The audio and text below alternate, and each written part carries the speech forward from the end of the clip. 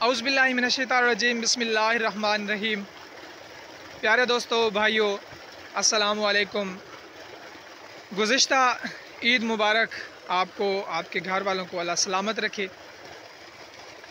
आज मैं आपको दिखाने लगा हूँ कि सोलर सिस्टम पे किस तरह हम रकबे को बना के उसको पानी दे सकते हैं और किस तरह हम वहाँ, यहाँ से जो है अच्छी पैदावार ले सकते हैं। तो मैं थोड़ी सी ख़ुद पहले आपके साथ इंफॉर्मेशन शेयर करूँगा।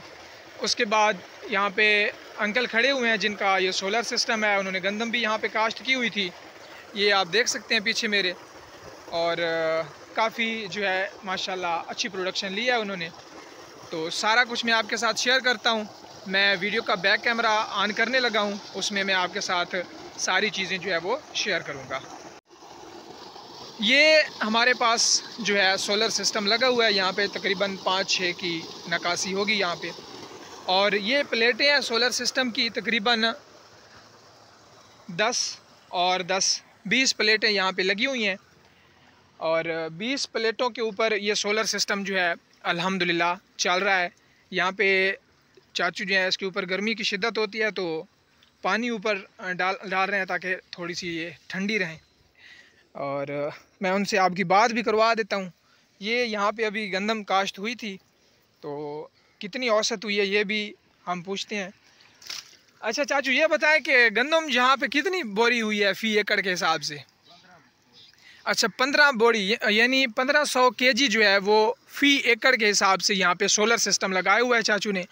और यहाँ पे पंद्रह बोरी, यानी पाँच सौ के जी फ़ी जो बोरी होती है वो सौ के जी की होती है हमारे पास। तो अल्हम्दुलिल्लाह बेहतरीन औसत हुई है, अभी भी कम हुई है, क्योंकि यहाँ पे आखिरी जो हफ़्ता था, जब गंदम तैयार होने वाली थी तो थोड़ा सा मौसमी सूरत हाल जो ख़राब हो गई थी, जिसकी वजह से गंदम की औसत कम हो गई है। लेकिन फिर भी अल्हम्दुलिल्लाह पंद्रह बोरी जो है, वो एक नहरी रकबे की औसत के हिसाब से है। तो बेहतरीन प्रोडक्शन है। बाकी ये टोटल रकबा कितना है चाचू? जो सोलर पे लगा हुआ है। दस एकड़ का रकबा जो है चाचू बता रहे हैं, यहाँ पे सोलर पे इन्होंने लगाया हुआ है। और ये पानी भी आप देख सकते हैं, मीठा पानी है और पानी का लेवल भी तकरीबन 20 फीट होगा 18 से 20 फीट। 18 से 20 फीट जो है पानी का लेवल है। ये यहाँ पे देख सकते हैं पानी के, ये जो नाले बने हुए हैं, पक्के नाले हैं, कोई इशू नहीं आराम से आप पानी भी यहाँ पे लगा सकते हैं। तो जस्ट आपकी इन्फॉर्मेशन के लिए मैंने ये वीडियो शेयर करनी थी। यहाँ पे देरा भी बना हुआ है, चाचू ने बनाया हुआ है। और यहाँ पे आप मुख्तलिफ़ चीज़ें काश्त कर सकते हैं, बाग भी लगा सकते हैं।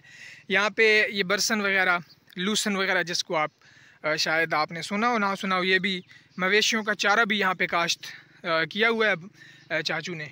और पानी जो है वो बेहतरीन आ रहा है यहाँ पे।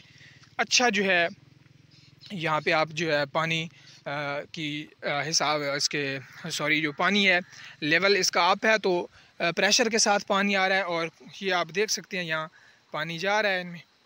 तो अभी इसमें मवेशियों का चारा काश्त किया जाएगा। जवार जिसको आप कहते हैं जवार, यहाँ पे काश्त की जाएगी और उसको भी लोग सेल भी करते हैं यहाँ पे। और अल्हम्दुलिल्लाह फ़ी कैनाल तकरीबन आठ दस हज़ार की सेल होती है, मवेशियों के लिए लोग ख़रीदते हैं चारा। तो फ्री का यानी आपका कोई ख़र्च नहीं है, सोलर जब आपने लगा दिया तो फिर उसके बाद आपका कोई ख़र्च नहीं है, ये तकरीबन पंद्रह लाख में सोलर सिस्टम लगा हुआ है। तो जस्ट मैंने आपकी इन्फॉर्मेशन के लिए शेयर की है दुआओं में याद रखिएगा। अल्लाह हाफिज़।